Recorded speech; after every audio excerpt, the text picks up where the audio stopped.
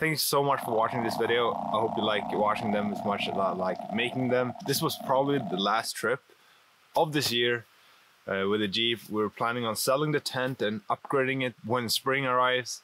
Uh, but we haven't figured that one out yet, so we'll see. We'll see what happened there. But don't forget to like the video and subscribe to the channel so I can see you in the next one. Ha!